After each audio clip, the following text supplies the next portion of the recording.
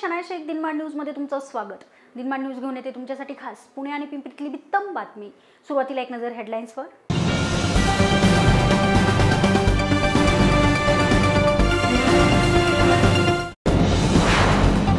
दोनला पुणेकरांचं हक्काचं पाणी सोडून पालकमंत्र्यांनी महापाप केलं. काँग्रेसचे लोकसभा उमेदवार मोहन जोशी यांचा आरोप. डॉक्टर जयप्रकाश कुलकर्णी यांनी दिली उष्णतेच्या कहराची अधिक माहिती. सहलीसाठी मुळशी धरण परिसरात आलेले भारती विद्यापीठाचे तीन विद्यार्थी धरणात बुडाले. आणि भाजपकडून महाराष्ट्र पोलीस दलाचा नेहमीच होतोय अपमान काँग्रेसची टीका. आता बातम्या सविस्तराने. पुणे शहराचा पाणी प्रश्न आता चांगलाच तापू लागलाय. लोकसभा निवडणुकीच्या काळात दोनला पुणेकरांच्या हक्काचं पाणी सोडून पालकमंत्री गिरीश बापट यांनी महापाप केल्याचा आरोप काँग्रेसचे लोकसभा उमेदवार मोहन जोशी यांनी केला आहे पुण्याच्या पाणी प्रश्नाबाबत काँग्रेसने यापूर्वीही अनेक आंदोलने केली आहेत. निवडणुकीच्या काळात गिरीश बापट यांनी बारामती लोकसभा मतदारसंघातील दोन भागाला पुणेकरांच्या हक्काचं पाणी सोडलं. त्यामुळे सध्या पुणेकरांना पाणी टंचाईला सामोरं जावं लागल्याने याला जबाबदार पालकमंत्री गिरीश बापट असल्याचा आरोप मोहन जोशी यांनी केला आहे भारतीय जनता पार्टीच्या उमेदवाराला मदत करण्यासाठी म्हणून पालकमंत्री गिरीश बापट यांनी ते केलेलं होतं आज सत्ता त्यांची आहे कालवा समिती अध्यक्ष ते आहेत. आम्ही भाषणामध्ये आणि सर्व ठिकाणी सांगितलं होतं की जे शेतीला आवर्तन किती सोडायचं काय सोडायचं आपल्या करारामध्ये दिलेलं आहे टक्केवारी. पहिल्यापासूनच पालकमंत्री गिरीश बापट यांनी पुणेकरांना वेटीला वेठीला धरायचं ठरवलं होतं आणि त्यांनी सातत्याने ही वागणूक केली आणि अशा पद्धतीने पाण्याचा खेळखंडोबा केला. यावर्षी जी पाणी टंचाईला आपल्याला सामोरं जावं लागत आहे त्याला पूर्णपणे पालकमंत्री गिरीश बापट यांचा नियोजन शून्य कारभार हा कारणीभूत आहे. पंचवीस ते तीस एप्रिल या कालावधीत संपूर्ण भारतातील जनता उष्णतेच्या कहराने होरपळत होती. भारतीय हवामान विभागानुसार मार्च ते मे मान्सून पूर्व ऋतू गणला जातो. या मागची कारणे काय? या संदर्भात अधिक माहिती दिली आहे डॉक्टर जयप्रकाश कुलकर्णी यांनी. जमिनीची उष्णता लगतच्या हवेच्या थराला मिळत असल्यामुळे हवा तापते आणि हवेचं तापमान वाढू लागतं. हवेचं तापमान वाढल्यामुळे हवेला ऊर्ध्वगती मिळून एक कमी दाबाचं क्षेत्र तयार होतं. भारतात उत्तरेकडे विस्तृत भूभाग असल्यामुळे तो एकसंधपणे तापतो. त्यामुळे त्यावरील हवा सुद्धा तापते असे सध्याच्या भारतातील उष्णतेची शास्त्रीय कारणे डॉक्टर जयप्रकाश कुलकर्णी यांनी पत्रकार परिषदेत सांगितली आहेत. चोवीस एप्रिलपर्यंत आपण बघितलं होतं की साधारणपणे सर्व भारतावर तापमान चाळीस डिग्री सेल्सिअस होतं. मध्य भारतावर तापमान पंचेचाळीस डिग्री सेल्सिअस होतं. ही जी स्थिती आहे हवेची स्थिती आहे ही एक साधारण स्थिती आहे. आणि दरवर्षी होत राहते. यात हे काही स्थिर घटक राहतात की त्या स्थिर घटकामुळे ही स्थिती निर्माण होते. ते स्थिर घटक असे आहेत की सूर्याची उष्णता नंतर सबसिडन्स किंवा सिंकिंग मोशन आणि उत्तेर उत्तर उत्तरेकडून येणारे गरम वारे याचा तो एकत्रित परिणाम होतो आणि तापमान साधारणपणे चाळीस डिग्री एक्केचाळीस डिग्री हे मध्य भारतात राहतं. मध्य भारत हा हीट कोर झोन म्हणून असतो. आणि ह्यातच जेव्हा ही दोन वादळं तयार झाली त्यामुळं जे सबसिडन्स आहे किंवा सिंकिंग मोशन आहे किंवा वरून खाली हवा येण्याचं जे प्रमाण आहे ते वाढल्यामुळं हवेचं तापमान वाढलेलं आहे आणि ते साधारण दोन ते तीन डिग्रीने वाढलं आहे जिथं तापमान एक्केचाळीस डिग्री होतं बेचाळीस डिग्री होतं ते त्रेचाळीस चव्वेचाळीस डिग्रीपर्यंत पोचलेलं आहे. आणि हा जो प्र हा जो परिणाम आहे हा एक आठवडाभर राहिलेला आहे. नंतर जसं लोरेना वादळ जे विश्वताच्या खाली होतं ते क्षमल क्षीण झालं त्याचा इफेक्ट कमी झाला. त्यामुळं दक्षिण भारतातलं बहुतेक ठिकाणचं तापमान आहे ते परत त्याच्या नॉर्मल स्थितीमध्ये अडतीस एकोणचाळीसपर्यंत आलं. पुण्याचं तापमान अडतीस एकोणचाळीसपर्यंत आलं. अजूनही जे फनी चक्रीवादळ आहे ते बंगालच्या उपसागरावर प्रवास करते आणि ते साधारणपणे तीन तारखेला जमिनीवर जाईल आणि चार तारखेला त्याचं रूपांतर कमी दाबाच्या पट्ट्यात होईल. आणि नंतर चार तारखेनंतर परत हिथली स्थिती आहे मध्य भारतातली स्थिती आहे ती नॉर्मलला येईल. जी आत्ता तीन चार डिग्री सेल्सिअसने तापमान वाढलं होतं ते साधारणपणे कमी होऊन त्यांची नॉर्मल स्थिती म्हणजे चाळीस डिग्री आहे त्यांचीच नॉर्मल स्थिती आहे त्या स्थितीला येईल. सहलीसाठी मुळशी धरण परिसरात आलेले भारती विद्यापीठाचे तीन विद्यार्थी धरणाच्या पाण्यात बुडाल्याची माहिती मिळाली आहे. या दुर्घटनेत बुडाल्यांपैकी तिघांचा मृतदेह बाहेर काढण्यात बचाव पथकाला यश आलंय. पोलिसांच्या माहितीनुसार शुभमराज सिन्हा मूळचा बिहार संगीता नेनी मूळची दिल्ली शिवकुमार मूळ उत्तर प्रदेश या तिघांचंही वय वर्ष बावीस आहे. हे तिघेही भारती विद्यापीठात एम बी एचे शिक्षण घेत होते. गुरुवारी सकाळी सात वाजता भारती विद्यापीठाचे काही विद्यार्थी सहलीसाठी मुळशी धरण परिसरात आले होते.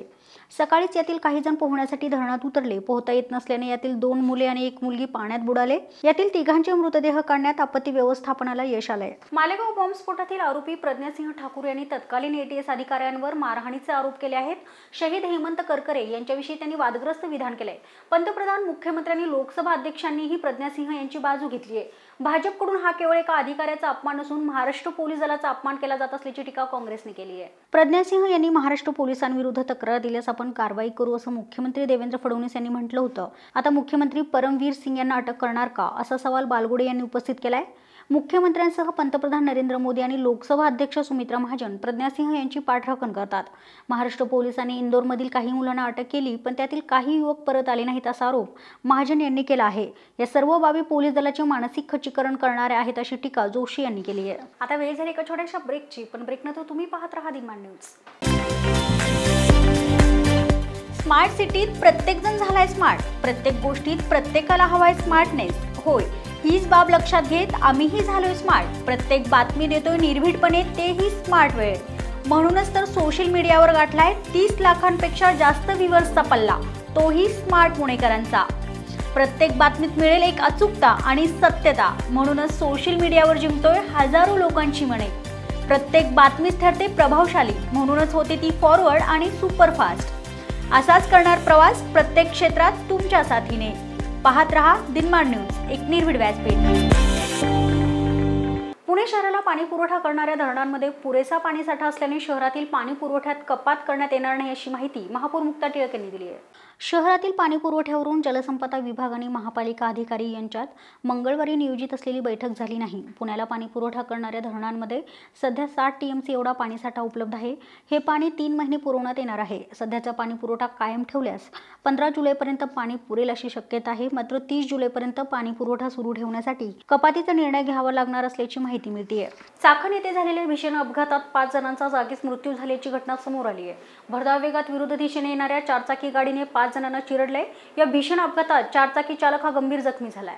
चंद्रशेखर सूरजलाल विश्वकर्मा सुनील शर्मा दीप नारायण विश्वकर्मा सत्यवान पांडे सर्वज्ञ संजय विश्वकर्मा अशी अपघातात मृत्यू झालेल्या व्यक्तींची नावे आहेत. तर आरोपी चालकाचे सुभाष शिवकरे असं नाव आहे. तो गंभीर जखमी असून त्याच्यावर खासगी रुग्णालयात सध्या उपचार सुरू आहेत. K S H logistic Khalumbre येथील रस्त्याच्या कडेला दुचाकीसह पाच जण थांबले होते. काही काळाच्या आत विरुद्ध दिशेने भरधाव वेगात येणाऱ्या इर्टिगा गाडी क्रमांक एम एच चौदा जी एन सदोतीस अडुसष्ट हिने पाच जणांना धडक दिली. या अपघातात पाच जणांचा जागीच मृत्यू झालाय. अपघात एवढा भीषण होता की चारचाकी गाडीचा पुढील भाग चक्काचूर झाला आहे. ही घटना रात्री उशिरा खालुंबरे येथे घडली आहे. या घटनेत चालक सुहास नामदेव शेवकरे हा गंभीर जखमी असून त्याच्यावर खासगी रुग्णालयात उपचार सुरू आहेत. या प्रकरणी चाकण पोलीस अधिक तपास करतायत. उष्णतेची लाट ओसरल्याने पुणेकरांनी बुधवारी आठवडाभरानंतर सुसाहे वातावरण अनुभवले. शहरात दिवसभरात तापमानात लक्षणीय घट होऊन किमान तेवीस पॉईंट तीन आणि कमाल सदोतीस पॉईंट सात अंश सेल्सिअस तापमानाची नोंद झाली आहे. पुण्यामध्ये गेल्या आठवड्यात तापमान दररोज वाढ होऊन शंभर वर्षातील उच्चांकी त्रेचाळीस अंश सेल्सिअस कमाल तापमानाची नोंद झाली होती. रविवारी तापमान चाळीस अंशावर आलं. आणि पुन्हा सोमवारी लक्षणीय घट होऊन सदोतीस पॉईंट सात अंश तापमान नोंदवलं गेलंय. किमान तापमानात ही घट झाली आणि पारा तेवीस पॉईंट तीन अंशापर्यंत खाली आलाय. त्यामुळे दिवसभर ऊन होतं पण उन्हाची दाहकता कमी झाली आहे संध्याकाळी काही वेळ वाराही सुटला होता. पुढील दोन दिवस कमाल तापमान अडतीस अंश सेल्सिअसच्या जवळपास राहील असा अंदाज हवामानशास्त्र विभागाने वर्तवला आहे केंद्रीय लोकसेवा आयोग आणि महाराष्ट्र राज्य लोकसेवा आयोग या स्पर्धा परीक्षांची तयारी करू इच्छिणाऱ्या महाराष्ट्रातील प्रतिकूल आणि साधारण आर्थिक परिस्थिती असलेल्या गरीब होतकरू दिव्यांग आणि शेतकरी कुटुंबातील मुलामुलींच्या स्वप्नांना आकार देण्यासाठी आकार फाउंडेशनतर्फे राज्यभर स्पर्धा परीक्षा शिष्यवृत्ती अभियान राबवलं जाणार आहे. ग्रामीण भागातील शेतकरी आणि कष्टकरी कुटुंबातील विद्यार्थ्यांमध्ये गुणवत्ता कष्ट करण्याची क्षमता असून स्पर्धा परीक्षांमध्ये यशस्वी होण्याचं सामर्थ्य आहे. मात्र प्रतिकूल आर्थिक परिस्थिती आणि मार्गदर्शनाच्या अभावामुळे असे असंख्य विद्यार्थी त्यांच्या आवडीच्या क्षेत्रात करिअर करण्यापासून वंचित राहतात. म्हणून अशा गुणवान विद्यार्थ्यांचे स्पर्धा परीक्षांद्वारे प्रशासकीय अधिकारी बनण्याचं स्वप्न प्रत्यक्षात आकाराला आणता यावं यासाठी हे अभियान राबवलं जात असल्याची माहिती प्रवीण मुंडे यांनी दिली आहे. माझा संपर्क मुलाखतीला आलेला आहे आणि मुलाखतीनंतरचं जे प्रिपरेशन आहे मुलाखतीच्या रि रिझल्ट नंतरचे जे काय काम आहे ते मी आधार फाउंडेशन सोबत दोन विषयासाठी शिकवून माझं एक योगदान देत आहे.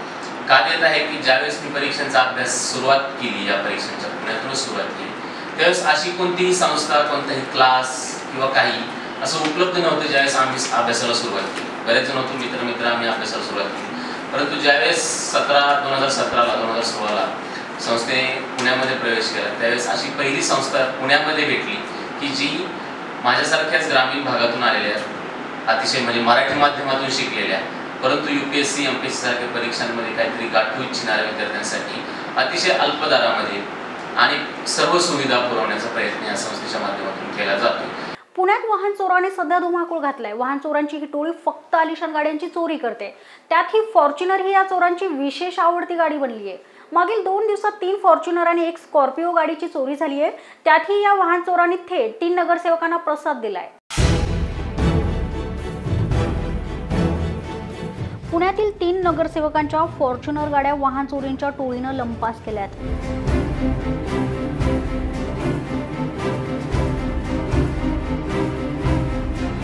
अवघ्या अठरा मिनिटात तीस लाखाची गाडी चोरी.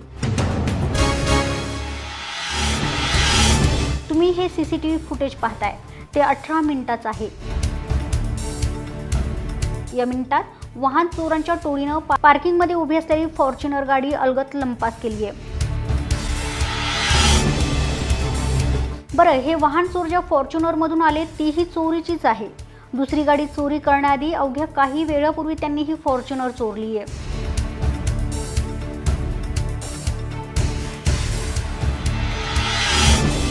सीसीटीव्ही फुटेजमध्ये जी फॉर्च्युनर चोरी होताना दिसते ती नगरसेवक रवींद्र धंगेकर यांच्या जवळच्या नातेवाईकाची आहे. आणि धंगेकर यांच्या घरासमोरूनच ती चोरण्यात आली आहे. धंगेकरांची फॉर्च्युनर चोरण्यासाठी ही टोळी ज्या फॉर्च्युनरमधून आली आहे ती राजवर्धन शितोळे यांची आहे. सोमवारी रात्री नगरसेवक धंगेकर यांची फॉर्च्युनर चोरीला गेली त्याच रात्री शितोळे यांची ही फॉर्च्युनर चोरीला गेली आहे. या दोघांनीही पोलिसात तक्रार दाखल केली आहे. सगळं त्यांनी प्लॅनिंगनी हे करूनच केलेलं आहे. आणि ह्याला कोणतरी शोरूमवाला किंवा म्हणजे त्यातलं तज्ज्ञ यांना सामील आहे त्यात चोरट्यांना. हो पोलिसांनी तक्रार दिलेली आहे. ही कसबा पेठेतनं गेलेली आहे आणि मग क दहा पंधरा दिवसातनं एकदा माझी गाडी तिथं पार्क असायची म्हणजे जाता येता आलो तर मी तिथं जागा भरपूर होती सारखी लोकांची वर्दळ असल्यामुळं सेफ वाटायची म्हणून तिथं लावायचो आणि तिथनं मी टू व्हीलर घेऊन माझ्या कामासाठी जायचो आणि परत टू व्हीलर लावून फोर व्हीलर घेऊन माझ्या घरी जायचो. हे तर खूपच काळजीचंच वाता हे गोष्ट आहे. का असं गाड्या चोरी जाणं आपण त्यावर लोन काढून घेतो एवढे हप्ते भरतो एवढं त्याला सांभाळतो आणि तेवढी मागातली गोष्ट जाते. आणि आता वारंवार होत चाललं आणि फॉर्च्युनर गाड्यांवरच जास्ती जोर आहे. माझी गाडी चोरल्यानंतर सुद्धा त्याच गाडीत बसून ते दुसरे तोपखान्याचे इथं आले. त्यांनी तिथं अजून एक फॉर्च्युनर चोरली. तिथनं प बिंदास बसून ते फिरत आहेत ते सी सी टी व्ही फुटेजमध्ये दिसतंय की किती निवांत उतरले. दुसऱ्याच्या गाडीत वा चोरीची गाडी असून सुद्धा निवांत उतरून दुसऱ्याची गाडी आरामशीर चोरत आहेत ते चोरायला त्यांनी अजून अर्धा तास लावला तरी काही टेन्शन नाही काय तिथनं आरामशीर गाडी काढून निघतायत. नगरसेवक धंगेकर आणि शितोळे यांच्या फॉर्च्युनर कार ज्या रात्री चोरी झाल्या त्याच रात्री एक स्कॉर्पिओ देखील चोरीला गेली आहे. तीन आलिशान गाड्या चोरीला गेल्यानंतर दुसऱ्या दिवशी म्हणजे मंगळवारी रात्री कर्वेनगर येथून श्रीनाथ विटेकर यांची फॉर्च्युनर चोरीला गेली आहे. फॉर्च्युनर गाडीत चोरीला जाणारे धंगेकर पहिलेच नगरसेवक नाहीत. याआधी भाजप नगरसेवक दीपक पोटे यांची फॉर्च्युनर तेवीस जानेवारीला चोरीला गेली आहे. त्यानंतर माजी नगरसेवक विनोद वस्ते यांचीही फॉर्च्युनर गाडी चोरीला गेली आहे. वस्ते यांच्या वहिनी स्मिता वस्ते भाजपच्या विद्यमान नगरसेविका आहेत.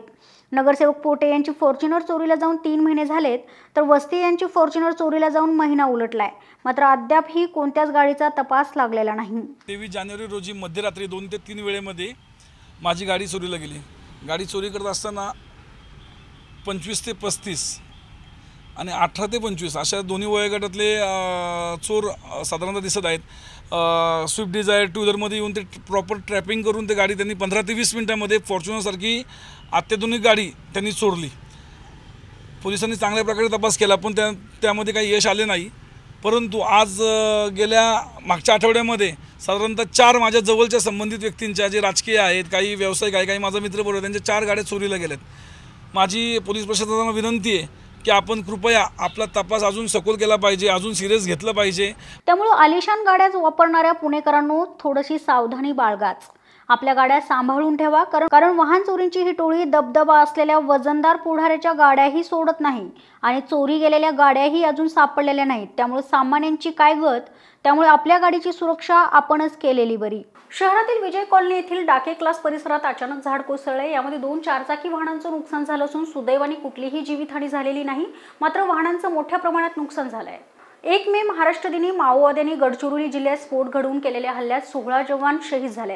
हिंसेच्या मार्गाने लोकशाही संविधान उलटून टाकण्याचे देशविरोधी षडयंत्र करणाऱ्या या माओवाद्यांचा हिंदूवादी संघटनांकडून निषेध व्यक्त करण्यात आला आहे नक्षलवाद्यांनी घडवून आलेल्या भूसुरुंगातील स्फोटात काल शीघ्र कृती दलाचे पंधरा जवान शहीद झालेत. या हल्ल्याचा निषेध सर्वत्र व्यक्त करण्यात येतोय. या हल्ल्याचा सर्वत्र निषेध व्यक्त करण्यात येतोय. सर्व हिंदुत्ववादी संघटनेकडून शहीद जवानांना श्रद्धांजली अर्पण करून हल्ल्याचा निषेध व्यक्त करण्यात आला आहे आपल्याला या सर्व गो- सर्वांना या गोष्टीची कल्पना आहे. पण प्रश्न असा आहे की या हल्ल्याच्या निषेधार्थ इथं जमलेल्या सर्वांना या माओवादाला आपण किती दिवस असं टॉलरेट करायचं? आणि या हल्ल्यांचे निषेध आपण कधीपर्यंत नोंदवायचे? आज आपण खेड्यापाड्यामध्ये जर का गेलो सामान्य विदर्भाच्या बाजूला मराठवाड्याच्या बाजूला खास करून अशा भागांमध्ये जिथे माओवादाचा संपर्क सरळ येतोय तिथल्या लोकांना जरी आपण जर विचारलं ना माओवाद ही संकल्पना काय आहे? तर नेमका माओवाद म्हणजे काय आहे? नक्षल समर्थक कसे निर्माण केले जातात? आणि नक्षल समर्थक निर्माण होतात तरी का?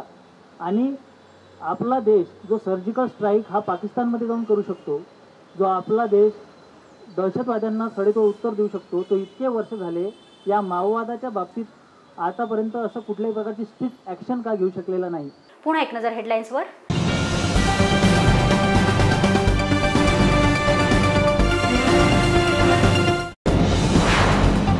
दोन लाख पुणेकरांचा हक्काचं पाणी सोडून पालकमंत्र्यांनी महापाप केलं. काँग्रेसचे लोकसभा उमेदवार मोहन जोशी यांचा आरोप. डॉक्टर जयप्रकाश कुलकर्णी यांनी दिली उष्णतेच्या कहराची अधिक माहिती. सहलीसाठी मुळशी धरण परिसरात आलेले भारती विद्यापीठाचे तीन विद्यार्थी धरणात बुडाले. आणि भाजपकडून महाराष्ट्र पोलीस दलाचा नेहमीच होतोय अपमान काँग्रेसची टीका. याचबरोबरच बातमीपत्र इथे संपलं. तुम्ही पाहत राहा दिनमान न्यूज. एक निर्भीड व्यासपीठ. नमस्कार.